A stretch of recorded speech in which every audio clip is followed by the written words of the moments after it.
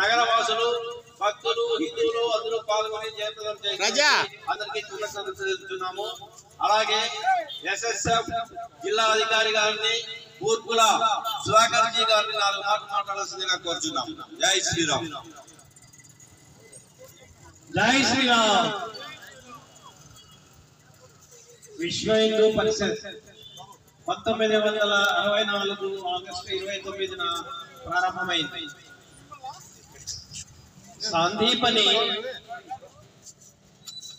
సాందీపని పావైలో ముంబైలో ప్రారంభమై యాభై తొమ్మిది సంవత్సరాలు పూర్తి చేసుకొని అరవై వడిలో ఉన్న ఈ విశ్వ హిందూ పరిషత్ విశ్వ హిందూ పరిషత్ భజరంగ దళ్ యువసేన అలాగే మహిళా దుర్గావాహిని.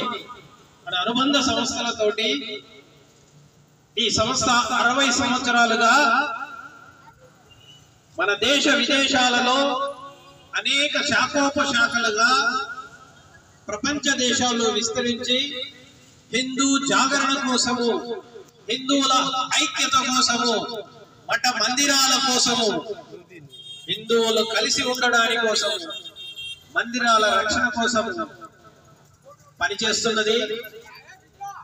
మనకు తెలుసు విశ్వేందు పరిషత్ ఆధ్వర్యంలో అయోధ్యలో శ్రీ రామాలయ నిర్మాణం జరుగుతున్నది. దానికోసం ఐదు వందల సంవత్సరాల పోరాటంతో కోర్టు ద్వారా విజయం సాధించి ఈ రోజు అయోధ్యలో మనం గుడి నిర్మాణం చేసుకుంటున్నాం. జనవరి ఇరవై మూడవ తారీఖున ఆ నిర్మాణం ప్రతిష్ట ప్రారంభం కాబోతోంది. అది మనమందరం కూడా సౌభాగ్యం చేసుకున్నాము.